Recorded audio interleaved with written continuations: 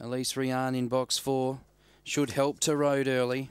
She likes to get up the track a bit. They're set.